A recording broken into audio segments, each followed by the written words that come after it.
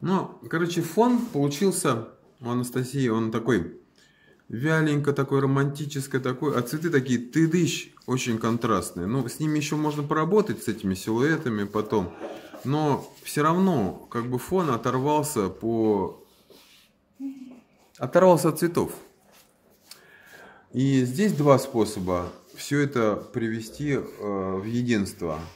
Либо мы делаем вяленькие цветочки под стиль фона, нежненькие такие. Вяленький, нежненький – это разные вещи. Ну, там, кто вяленький, скажешь, кто нежненький. Вот. Э, Ну, а, или, либо мы делаем наоборот. Либо мы все немножко по, кон, по контрастнее, по, ну, как бы приближаем к тому, что вот эти как цветочки Поярче. сделаны. Ну, ну, по контрастнее, что ли, да. Потом, э, делая по контрастнее, нам надо учитывать еще, э, что фон, в нем должен быть заложен градиент, который связан с источником освещения обычно. Ну, так или иначе, как-то. Хотя можно, в принципе, ну, в любом случае должен быть градиент какой-то, то есть не просто пятна светлые, темные, выхваченные, они не решают вопрос, они придают фону просто рыхлость. Как делать, ну, градиент тоже надо думать здесь, как его сделать. Значит, э, он будет влиять на композицию. Каким образом? Образом таким, что он будет где-то усиливать контраст, а где-то ослаблять. Вот если мы, скажем, делаем вот здесь вот темнее, например, да, то у нас усиливается контраст желтого, светлого и темного. Я даже на, на букет не смотрю, ну потом можешь показать, Катюнь. Вот, э, усиливается контраст желтого и темного. А здесь, например, мы не делаем сильного контраста. И у нас разница будет не такая большая. Поэтому у нас сразу акцент, он переместится вот в эту точку. Я думаю, это нормально будет.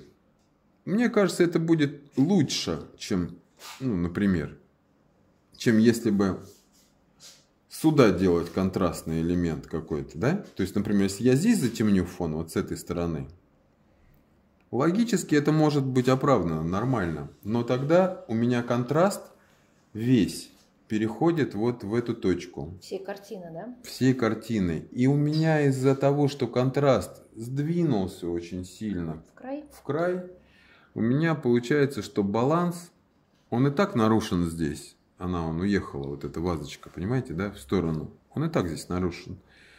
Он совсем уйдет, этот баланс. И вообще эта вазочка визуально еще больше прилипнет к этому краю, если я акцент сделаю вот в этом месте. То есть мне, не меняя эту вазу, надо решить сразу целую кучу вопросов. Целую кучу вопросов. Интересно.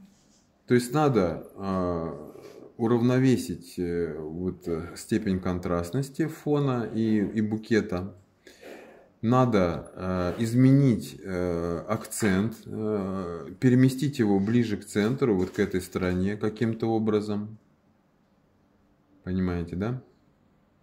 Потому что здесь акцент, который сформировался сейчас, вот тут, вот в этом месте, он не решает вопросы равновесия в этой Тоже картине. энергию в край уводит, да? Я бы даже, может быть, возможно, даже те изменения, которые я сейчас предполагаю, я вот здесь бы сделал бы, они бы все равно не решили бы весь вопрос кардинально. Что тогда можно делать? Я бы тогда взял бы и вазочку бы перемещал. Вот сюда хотя бы чуть-чуть. Понимаете, да? Потому что она создает ось, которая визуально сдвинута в левую сторону. На одну сильно. третью. Ну, не знаю. Ну, Центр да. вазочки. Ну, как есть, бы... получается, здесь самая главная вазочка, да? Ну, она как бы по ощущению, она сдвинута. Мгм. Сдвинута. Получается очень сильно вообще все вот Значит, это. справа очень пусто. Ну, как-то да. Как будто вот это вот место, вот этот кусок, как будто он не работает в А этой если картине. там на фоне окно нарисовать сзади? Раму, там кусок окна. Это, Это мож- может скомпенсировать, может скомпенсировать. То есть она как бы от- ответка такая, да, будет?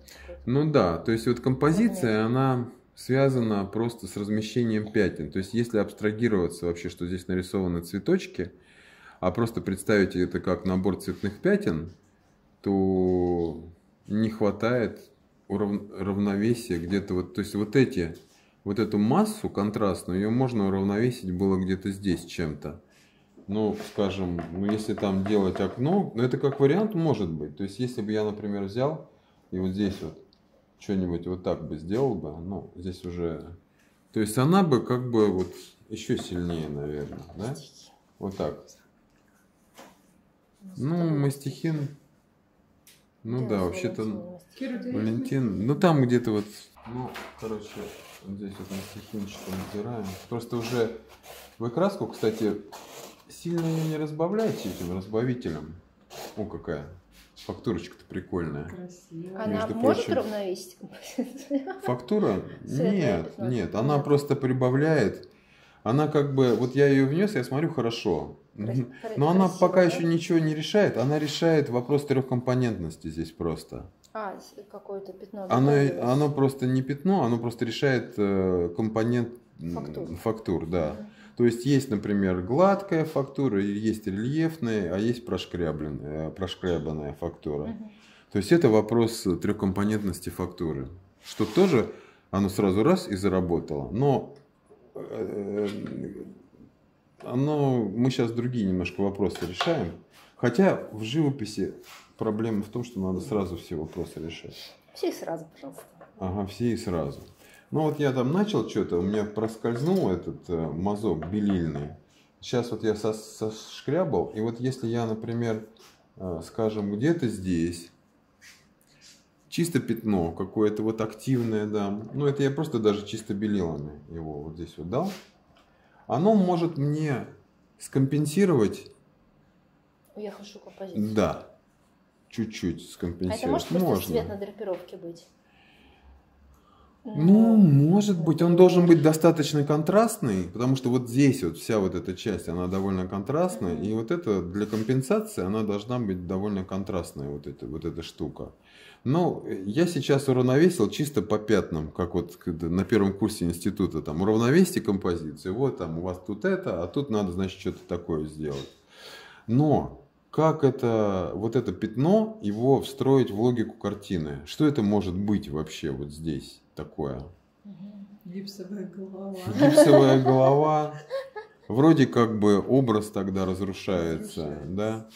А, белая драпировка. Но драпировки, кстати, они сильного веса в композиции не часто не имеют, такие как объекты другие.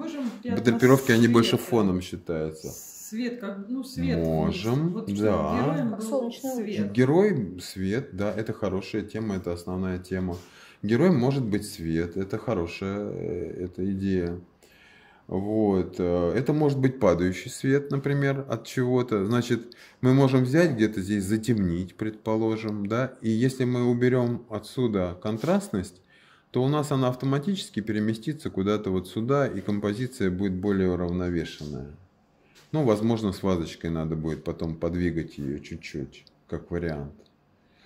Это может быть, например, букет, который стоит на окне, и там вот видно что-то за окном. То есть не обязательно это падающий свет, это может быть окно, которое там что-нибудь, там снег какой-нибудь, ну не знаю, ну что-то белое, солнце. Дом там. освещенный, машина белая. Ну, что угодно, да, там может быть. Поляна маков. Но вот сейчас как будто она больше уравновешивается. Так, я теперь думаю, что я могу еще сделать здесь. То есть мне надо перенести немножко вот эти акценты убрать, чтобы оно перенеслось чуть-чуть сюда, чтобы уравновесить. Возможно, вазочку придется тоже, как я сказал. Хорошо.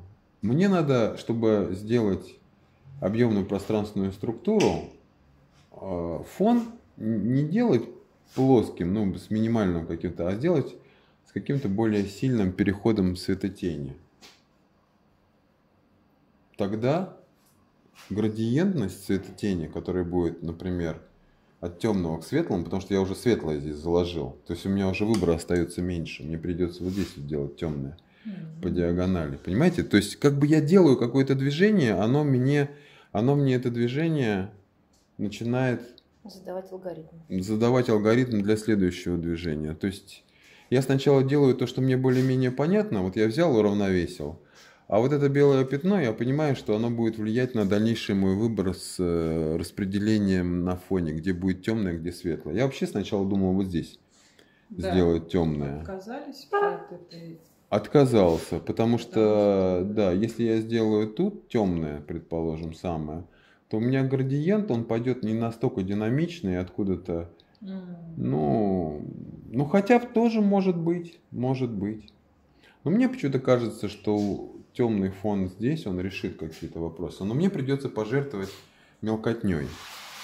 И, возможно, кусками вот этих цветов. Ну, их же можно будет потом добавить Да. в каком-то обличии. Потом мне надо решить, насколько мне делать темнее фон, потому что он у меня не должен, по большому счету, попасть куда-то в листья, скажем, да? Но если он даже будет попадать, так как в листьях очень большой тональный разброс, он будет куда-то обязательно попадать. В цветы, в листья, Придется то придется последний довод живописца использовать. Цвет. Цвет, да. Придется цвет использовать. Что это значит? Что по тону, например, если у меня нет возможности сделать какой-то другой тон, как тот, который уже был, мне придется делать такой же тон, но изменить цвет. Тогда будет разный объект. Но я вот тут вижу, что как бы я ни делал тон, практически я куда-нибудь да попаду в какой-нибудь средний. Сюда могу попасть, сюда, сюда могу, сюда попасть. Понимаете? Значит, все. Буду делать через цвет. А цвет, ну не знаю, мне кажется, вот, скажем, синий. Ну, извините. Вот придется немножко поснимать вот здесь вот эту вот часть. В первом слое, Анастасия, Мгм. в первом слое не надо его сильно очень это, ну, либо такой, который подсыхает побыстрее. С лачком. А, лучше вот тоньше делает слой, чем жестче кисть, тем она тоньше слой делает. О, вот это другое дело. Ну, даже уже начинает. А можно еще? Я уже съел всю краску синюю, ультрамарин. Большой. А, вот отсюда, да, можно добавить? У меня его мало. Мало? Вот вам весь. Вот вам весь. Ляпис лазурь. В Москве мало красок. А? В Москве тут мало красок оказалось. Ну, У нас тут есть и что есть, можете. На даче все. А. Ну вот, видите, у меня последний довод живописца сработал на фоне. Э? У меня пока что высвечивается вот это дело, но я его еще скорректирую. То есть у меня пока усиливается контрастность вот этого цветка. Я уже придумал, как я буду с этим справляться. Я вот, честно говоря, крашу просто одним этим ультрамарином, но он у меня загребает Нижний слой, который был. Да. И становится сложно. и становится сложным. То есть я ведь, видите, вот это метод художественного вышивания крестиком использую. Вот. О котором когда-то мне рассказал Петя Безруков. Живописец хороший. Вот. Ну и... э, Ну, во всяком случае, по тону он точно у меня попал куда-то вот сюда. Но хотя бы по цвету он отличается. А, а, листья не будем по тону менять, чтобы он не попадали в фон? И А, Ну, так Когда мы, ре- мы решили менять? уже этот вопрос. А, Мы решили этот вопрос за счет цвета. Ну просто это же может еще измениться, когда цветы будут корректироваться, и потом еще что-нибудь начнется. Но я смотрю на базовый цвет, Мгм. на базовый тон и цвет, и я как бы его, в общем-то, вижу, что он попал, но я вижу, что он здесь зелен, зеленее, а здесь синее. И Ну, как бы понятно, пока уже вот эта область, она по тону, может, и сливается вот с этой областью, Ну да. в принципе, да, вот Да, да, где-то. да. Но она, тем не менее, визуально все-таки держит рамки какие-то, Мгм. пятно вот это. Только за счет цвета, опять же, только за счет э, контрастности цвета. Вот, ладно. Э, Значит, вот у нас пошла, пошел градиентик, да, здесь. Так. Мгм. Вам надо скорее не э, это масло, вот эту штуку, а кистемойку сюда, чтобы отмывать кисть там особо. В масле, в принципе, довольно много масла. Вы пишете пастозно, вам не нужно слишком много масла добавлять. Это те, кто там Тоненько. Но это Ну да. дома у меня есть скипидар, там для кистемойки. Здесь это подсолнечное масло вообще. А, ну, тоже не самый лучший Катина. вариант. Ну, вот я делаю, типа, здесь переходик какой-то тональный. Опять э, немножко загребаю от теплых э, цветов, от э, цветка вот этого, который придется еще потом корректировать. Ну, Он- фон уже так меняется. Ну, я закладываю пока логику перехода. Вот этого градиента, да, к этому Да. светлому.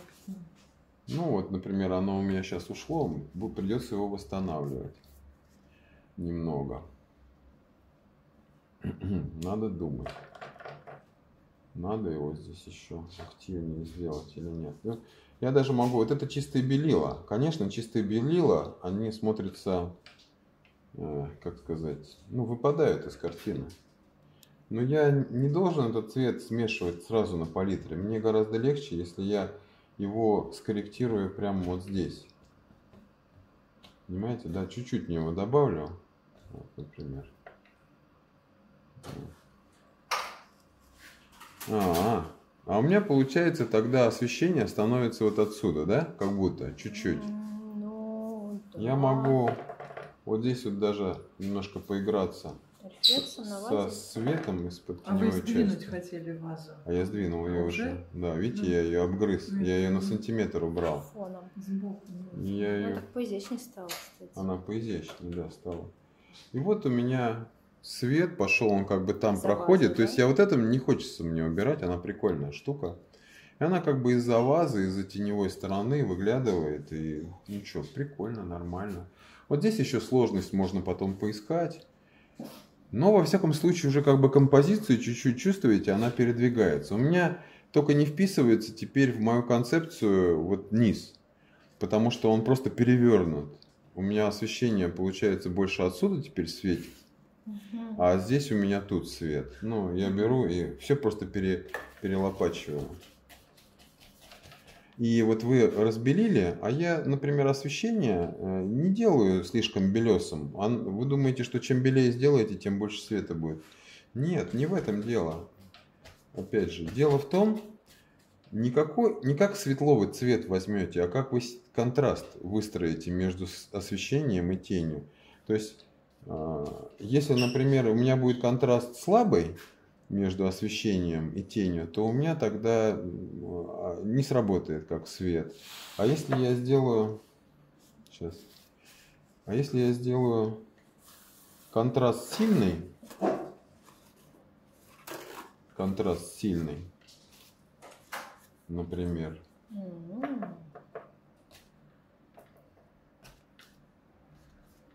От вазочки падающая тень, да? Ну, ну, например, да. Контраст сильный. То у меня за счет сильного контраста вот к этому, у меня вот эта часть, она автоматически становится светлее. И у меня появляется свет. Но у меня единственное, что вот этот кусок, он приблизительно тут, тут, тут, он одинаковый. То есть, ну мне надо, ну здесь как куда-то куда в тень уходит, но принципе вот этот кусок я могу оставить, он будет темный, как ответка чему-то темному здесь. То есть совсем высветлять вот этот кусок я не хочу. Возможно, мне придется немножко скорректировать вот это светлое место, которое хочется затемнить теперь, чтобы была как вот, ну, как сказать, а, Постепенный уход. ну, виньеточка такая, виньеточка такая, да, то есть вот как бы вот Мгм. мне же надо переместить отсюда, чтобы освещение, поэтому мне логика тогда вот она вот здесь, ну, чуть-чуть темнее туда делаю.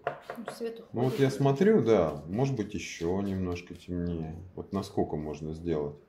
Ну где-то так, наверное, можно сделать. Можно. Вот так. Вот здесь светлее, возможно, надо сделать. Ну, сейчас посмотрю. То есть это все в процессе двигается. Ну, то есть, видите, перелопачиваю вашу композицию. Но это я ее перелопачиваю для того, чтобы найти ну, какое-то решение тем проблемам, которые вот... Ну вот теперь у меня освещение отсюда, понимаете, да? В принципе, я как бы заложил освещение с правой стороны. Вот здесь пока еще белесое, здесь пока еще слишком синенькое.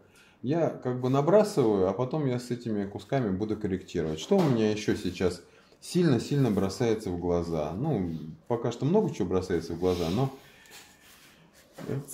мне, например, да. Ой, Катя, вот она сразу же все. Я смотрю, что если у нас освещение переместилось отсюда, то мне автоматически хочется вот это вот затемнить. Понимаете, да? Ну, как бы вот убрать вот этот Чтобы был общий объем на букете, да? Ну да, чтобы вот букет он был сферическим. Чувствуете, я как бы туда раз убавил, а здесь можно наоборот, чтобы выстрелило что-то хорошенькое такое. Сочно. Ну я хотя бы просто намечу вот это вот. Просто хотя бы намечу. У меня, кстати, вот это пятно, оно тоже композиционный элемент, который переносит.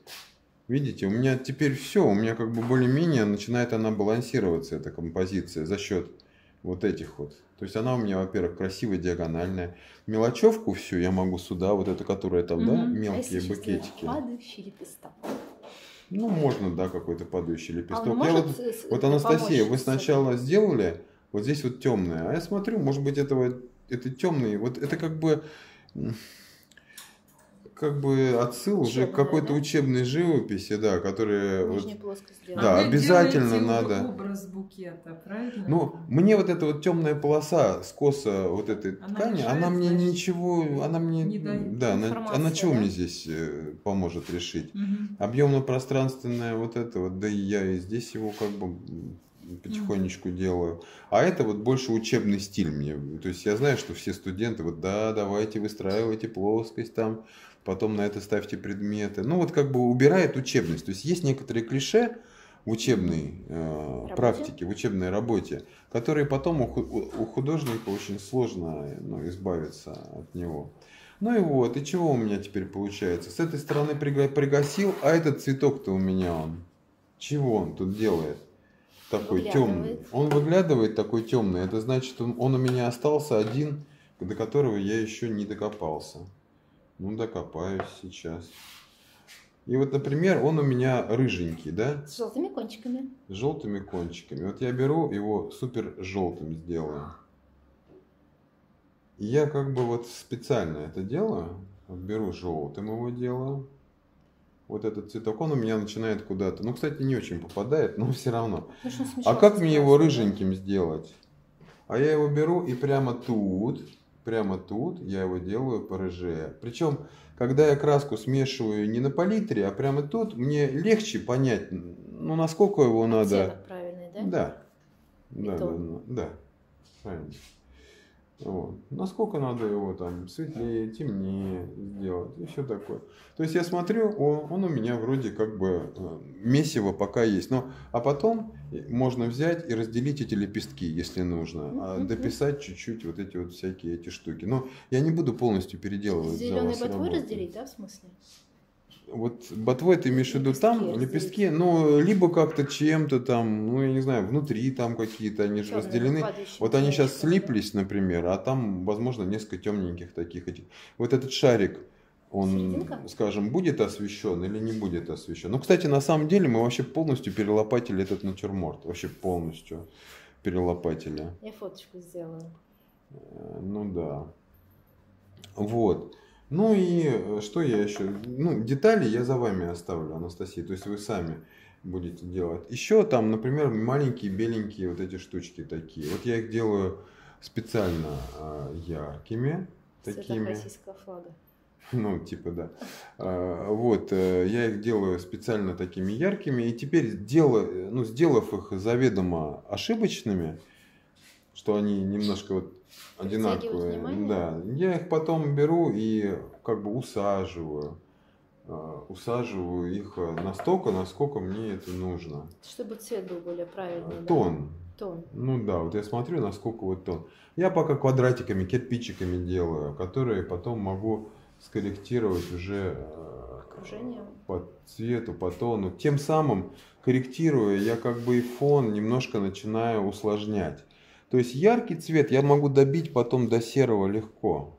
Вот этот вот. А, Серый до яркого. а серый до яркого, как я уже говорил, особо сильно проблемка. Вот. Ну и вот э, смотрю, где какие акцентики поставить. Там можно, вот Катя говорила, здесь там надо складочки, не надо. А вот что вот это вообще такое? Светлая драпировка, темная драпировка. Окно На окно- На окно не похоже пока. Не, ну можно какую-то вот Ну, ткань сделать. такую сделать. да, да. А что, можно, в принципе. Давайте. Что Ну, немножко сделает? вот, что бы я сделал? Вот подоконник, предположим, да? Вот где-то вот он там Мгм. есть такой подоконник. Там уже пейзаж такой зимний выглядывает вообще. Ну, типа, вот здесь вот, например, скорректировать от подоконника какая-то будет, например, тень. Из помещения свой свет идет, да, уже как будто. Тепленький. Он как бы двойной. Со стороны э, улицы он будет холодный. Значит, мы потом мелкие коррективы делаем. Вот здесь вот, например, холодненького шмякнем. Вот здесь вот, ну, не такого, рефлексик, да, там с улицы. Вот он у вас Да. голубенький. Можно вот здесь вот его, раз. А на желтых цветах тоже, да, Чуть-чуть. будет? На желтых цветах, вот этих, на вот этих, Ну, с краю, с какого-то... С какого-то. Ну, это надо смотреть. Сейчас по тону немножко сливается. Здесь надо еще, конечно, с этим копаться. А, на, вот, кстати, здесь возникает вопрос Нотона, да, э, такой темы, когда темное на светлом, светлое на темном. Вот этот цветок, он сейчас, его можно Светлое апгрейд ему сделать. Он весь светлый на светлом, по сути. Но если мы его сделаем, например, вот с этой стороны, возьмем его чуть темнее, сделаем, ну, конкретно будем говорить темнее, да, вот так, то у нас возникает нотон. У нас как бы один и тот же объект, он с одной стороны может быть темнее, чем фон, а с другой светлее, чем фон. И вот эта тема, она э, придает дополнительную объемность и пространственность, э, когда вы играете с этими вещами. То есть, ну, грубо говоря, если у вас объект весь светлый, он кажется плосковатым. Или весь темный, например, он кажется плосковатым. А если объект, он где-то темнее, чем фон, а где-то светлее, то какую бы лепеху вы ни сделали, она уже намного объемнее, чем вот эта лепеха смотрится. Понимаете, да? Мгм. Согласны? Да, да, согласна. Вот. То же самое с листьями. Вот вы заложили листья все темным куском. Оно- они у вас везде касаются края более светлого. А можно этот кусок разбить на какие-то другие куски, где он будет работать как не как темный на светлом, а где он будет работать как светлый тёмный. на темном. Где, Ну да. Ну, не знаю. Надо подумать. Где-нибудь потом. Пока что-то голова уже не слева? работает. Не Может знаю. быть, светлее. Не знаю. Может. Ну вот, например, вот этот листик. Скажем, он сейчас темным работает, а если взять, Какой-то И- отворот у него сделать? сделать Мгм, с- да. не, от- не отворот, а тот же самый листик, но, предположим, его сделать э, на более темном А, фоне. фон подвести. ну, сейчас не вот он... меняет тон листика. Не меняет А. тон листика, да. Можно. Если возможность такая идет, ну, Мгм. как бы Здесь получается, а? А, на фото выглядят они одинаково. Ну, они одинаковые, но у меня здесь чуть-чуть разница видео, небольшая да? есть. А, нет, есть. Большая, небольшая есть, но я могу, предположим, взять и, если уж не видно совсем, ну, могу усилить. Но это, я говорю, я копаюсь в этой работе, просто вот могу чуть-чуть усилить его. Листик, Вот, ага. вот я усилил листик, и у меня уже вот эта масса, она не такая плоская, что ли, становится. Вот если кусок этой массы, он как бы смотрится чуть-чуть светлее, чем э, фон. Вот это нотон называется.